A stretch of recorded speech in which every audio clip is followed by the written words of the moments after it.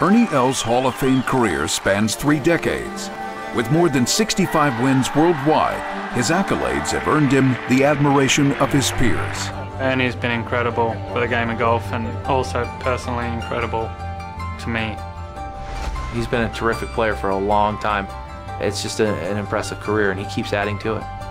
He's such a cool customer. I really looked up to him. Ernie's certainly been one of the ones that's been really impressive over the years. What a finish. But wins were replaced with frustration in 2005 as Els struggled in his personal life.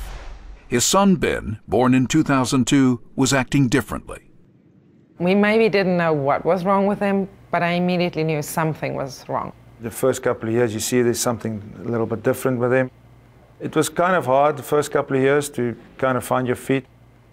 He was trying to fix it and find out uh, why did this happen? How did he cause this?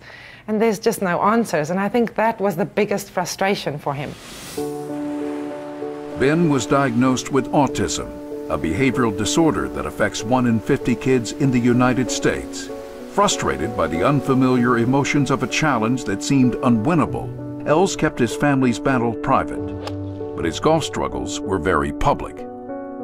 Golf is a tough sport, and you need to be mentally and physically there. And a lot of times, mentally, I was struggling a little bit. All of us hit a low at some stage, and then as time goes by, acceptance comes, and you learn to live with autism. Els' focus shifted away from the golf grind and embraced hope in the fight against autism. The Els for Autism Foundation was created in 2009. We had to start somewhere, and I really appreciate the support, a cause that's very close to our heart.